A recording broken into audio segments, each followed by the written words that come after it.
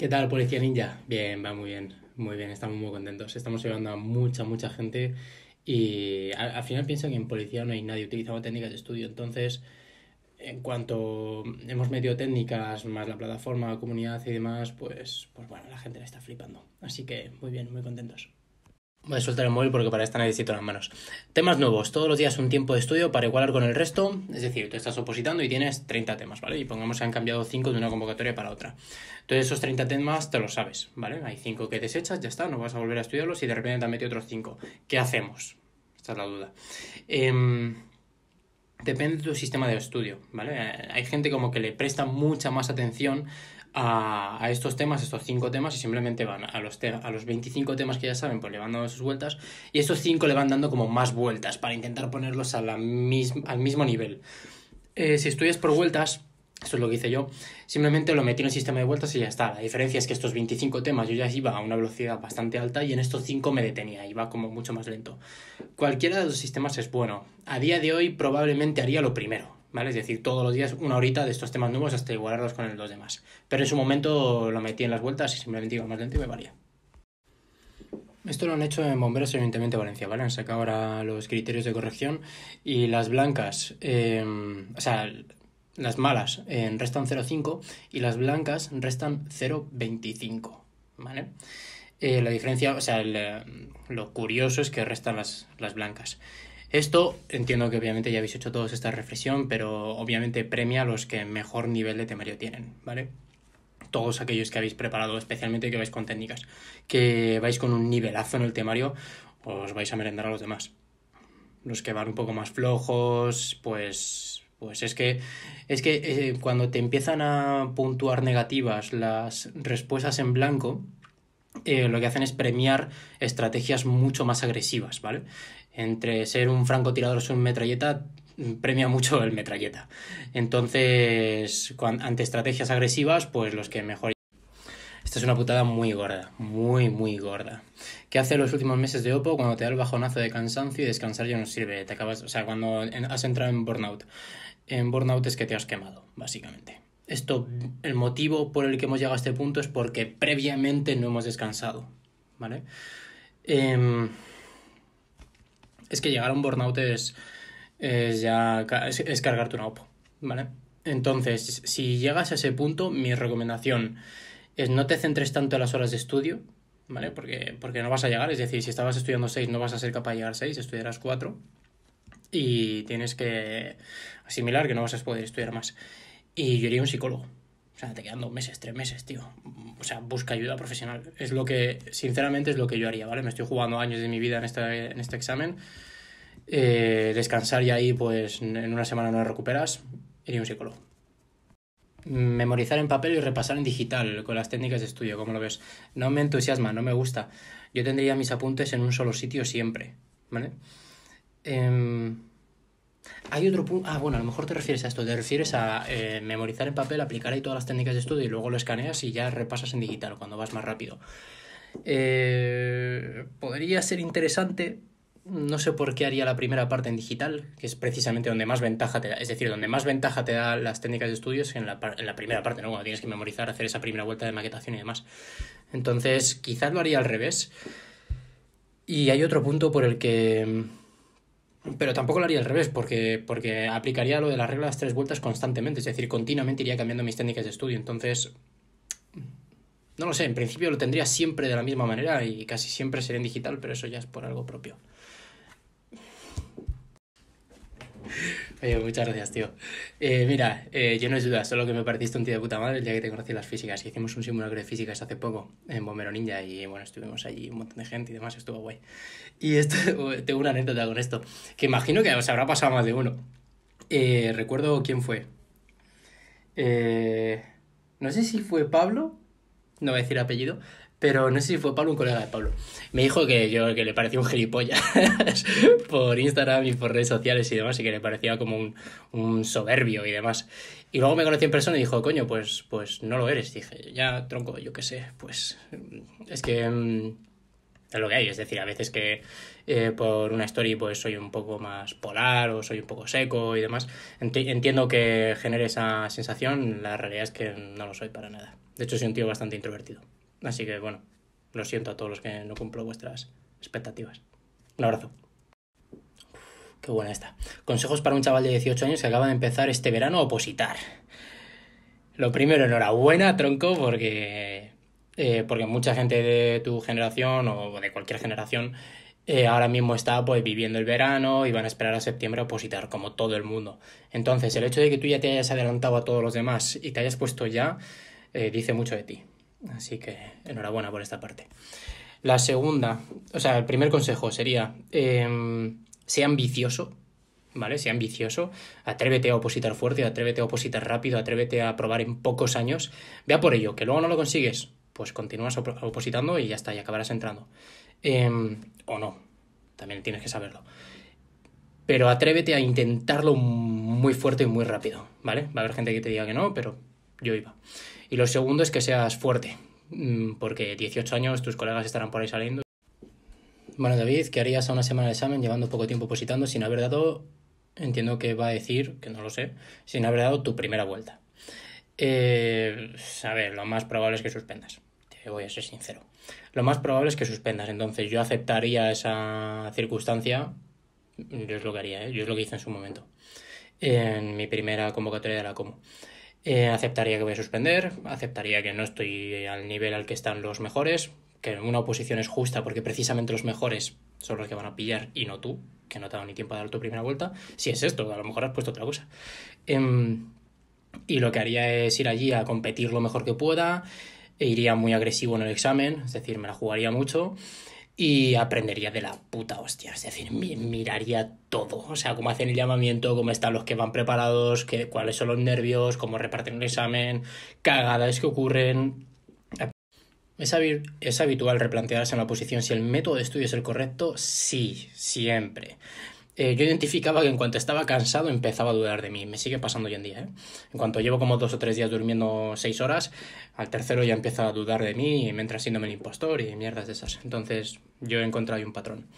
Em, dos cosas. La primera es, si lo que dudas es sobre tu planificación de estudio, em, pues tronco, tomaste esa decisión cuando estabas fresco, ¿vale? No cuando ahora te está dando miedo por todo, entonces no la cambiaría. Y lo segundo, si lo que estás dudando es si el método de estudio en cuanto a técnicas de estudio estás cambiando, o sea, estás cambiando, está funcionando o no, yo aplicaría las tres vueltas. Lo, que, lo primero que haría sería aprender técnicas de estudio a saco. ¿Vale? Es decir, aprendería muchísimas, muchísimas herramientas para afrontar un dato. Que uno falla, no pasa nada, tres vueltas, cambias el dato y fuera. O sea, cambias la manera de estudiarlo y ya está. Entonces, continuamente vas cambiando técnicas de estudio y ya está. Lo que no cambias es la planning. ¿Vale? Iba a hacer una broma con este con esta duda que me han mandado. Un aviso para los demás opositores. Como 2024, el top 1 es mío. Iba a hacer una broma con esto en plan, hostia, me flipa, tal, no sé cuál. Pero no, no, voy a contar una anécdota. Em, yo quería ser el número uno de mi oposición, ¿eh? Yo lo quería ser tanto en AENA como en la COMU. O sea, yo apuntaba mucho, yo intentaba, intenté ser el número uno. No lo conseguí en ninguna de las dos, pero me quedé bastante cerca. Entonces, en AENA me quedé el 20 y algo, temario más físicas eh, de España, luego bajé al 80 con interinos, y eh, bueno, a los 70 y algo, por ahí andaría. Y en la Comu, quinto en temario, bajé luego al 8 con las físicas y bajé luego al 12 con, con la conducción, luego subí al 11. Em, de 113 plazas. Entonces, la anécdota cuál es que apuntas, o sea, a los que sois competitivos os motivaría a apuntar siempre al número 1 y si te quedas el 5, de puta madre, pero, pero ser ambiciosos, ir a por el 1. ¿Cuidaste la dieta en la OPO si comes de todo y saludable para qué cambiar? yo cuidaba mucho lo que comía. Eh, lo que os he contado antes, ¿vale? En la historia anterior os he contado que yo quería ser el número uno. Entonces ser el número uno implica pues ir al milímetro con todo. ¿Vale? No, no necesariamente, pero porque Lucas Perello fue el número uno de AENA y, y no iba al milímetro con absolutamente todo. Pero pero yo sí, al menos como yo lo enfoqué era que yo iba con todo. Entonces, si hacerme un bocata de fuet pues me iba a restar segundos en el 2000, pues no me comía el bocata de fuet. Me lo como ahora, que ya soy bombero. Em, entonces yo iba con una Nutri, con Bárbara, le mencionaré por aquí, y, y ya está. Entonces yo iba muy fuerte con todo lo que podía, sabiendo cuáles son mis condiciones. ¿eh? O sea, yo sabía que el 2000 iba, o sea, era una mierda con patas corriendo. Pero ya está, es lo que hay. Entonces, ¿qué tienes que hacer? Pues hay gente más talentosa que tú, que puede permitirse comer de todo. En mi caso no era así. Así que ya está, comía mejor. ¿Por qué crees que hay algunos opositores que nunca entran? Em, uf, pregunta complicada. El motivo número uno, diría yo, es porque no se preparan bien. ¿Vale? Y no prepararse bien no implica no esforzarse. Implica que durante tu esfuerzo pues no has cuidado tu cabeza, em, no has utilizado las mejores técnicas, has sido orgulloso y no estabas cambiando las técnicas que no te funcionaban, eh, has tenido el ego muy grande y te has confiado a la hora de enfrentarte al examen. Em, eso por un lado, entonces eh, simplemente no te has preparado bien. Yo diría que esto es el 90% de la gente. Y luego hay gente que no aprueba nunca por mala suerte. Los hay. Eh, por mala suerte. Lo que pasa es que una persona. Mala suerte, una combinación de mala suerte más eh, impaciencia. Porque normalmente la gente que tiene mala suerte pero que se prepara bien, no puedes tener mala suerte siete veces. ¿Crees que si vas a full desde el minuto uno te puedes quemar muy rápido? Sí, sí, sí. Cuando yo digo de ir a full, ¿vale? Eh, cuidado con esto, que a lo mejor no, no lo explico yo bien.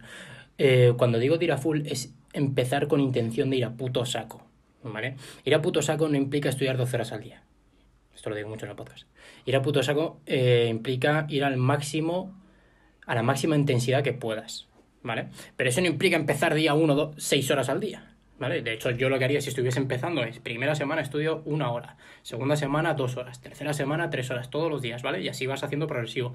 Al mes y medio estás estudiando seis horas al día, que es más que suficiente.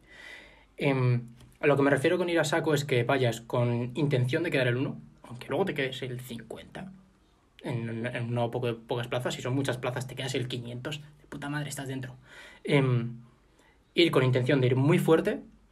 Eh, y, y tomártelo en serio, como si estuvieses currando esto. ¿Echas de menos bomberos estando de excelencia? Eh, es, más, es compleja la pregunta.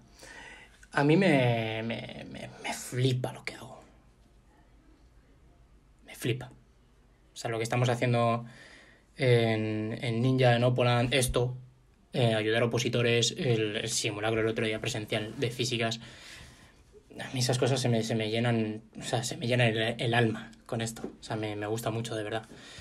Eh, pero claro, eh, el, el, camino, especialmente el camino de subirte a un camión de bomberos, sirenas, velocidad, eh, estar pensando ya en, en, en el curro, en, lo que vas a hacer. La adrenalina esa, hostias. eso, eso, eso, obviamente sí, sí, lo echo de menos, claro. ¿Qué recomiendas cuando empiezas a opositar? Abarcar varios temas a la vez y no centrarte solo en uno. Esto lo recomiendo tanto para aquellos que estéis empezando a opositar como para aquellos que llevéis más tiempo. Yo nunca estudiaría solo un tema. Eh, yo estudiaba seis horas, ¿vale? Más o menos, entre cinco y seis horas. Cinco o seis horas. Con un solo tema me pego un tiro me pego un tiro. Yo siempre tenía tres, ¿vale? En, mi caso concreto. Tenía un tema más legislativo, que a mí era lo que más me costaba, un tema muy bomberil y luego un tema de territorio que para mí era diversión, ¿vale? Eran simplemente técnicas de estudio y ya está. Datos puros. ¿Cuánto mide este, este pico? Pues ya está, le metí una técnica, una historia y fuera. Eh, entonces, bueno, mi recomendación es que nunca estudiéis un solo tema, por al menos dos. Porque, hostias, un día entero de solo un tema, al menos en mi caso, yo me pego un tiro, sea el que sea.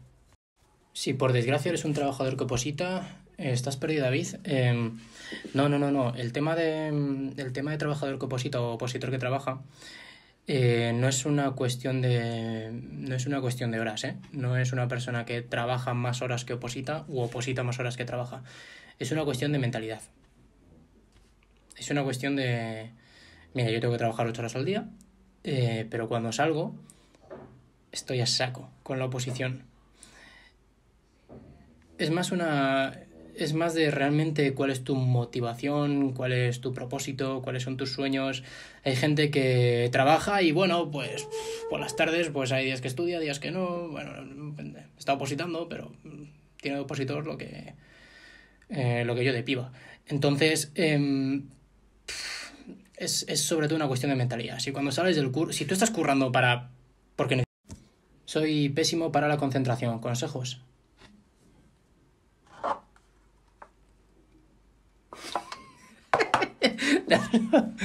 No, no, no me hagan ni puta eso, no tiréis de Monster todos los días.